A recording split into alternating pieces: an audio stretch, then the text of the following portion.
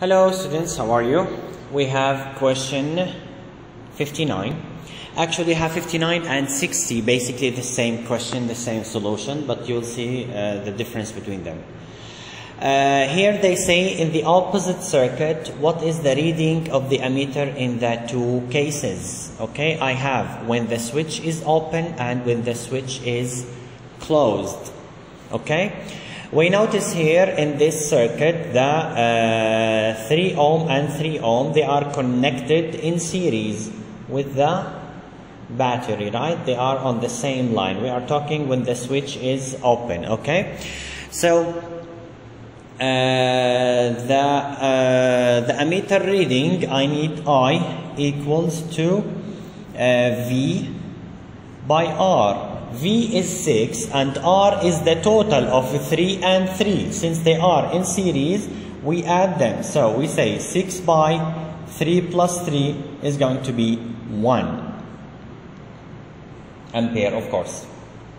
Okay? So when the switch is open, it's 1. It's either here or here.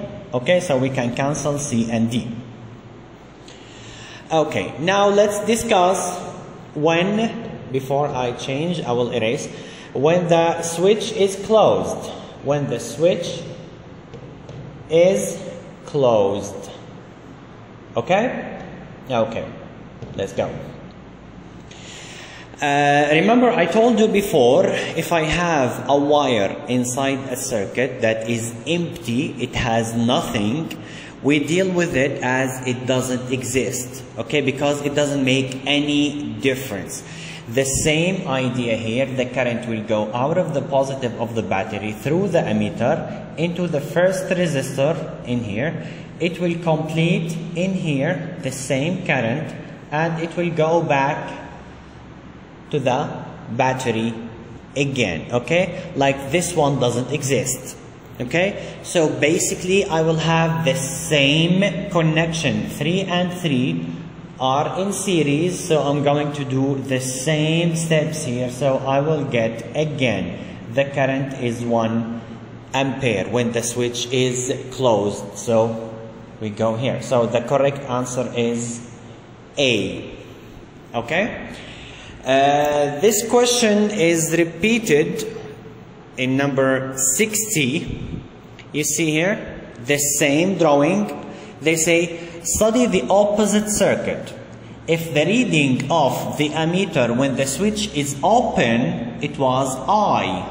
Okay? What is the reading when the switch is closed? They say like, what difference does it make when we close the switch? Okay?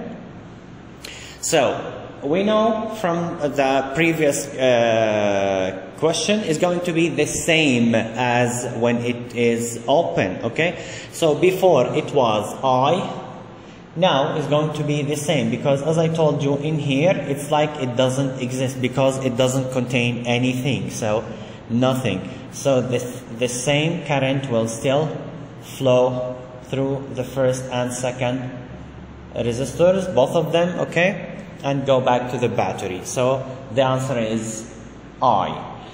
If they tell you it was uh, 3, how is going to be when the switch is closed? You go directly to 3. Okay, so the current is going to be the same, whatever the value is. Okay, so uh, these are the questions 59 and 60. If you have any question, please uh, leave it under the video. I'll see you later. Bye bye.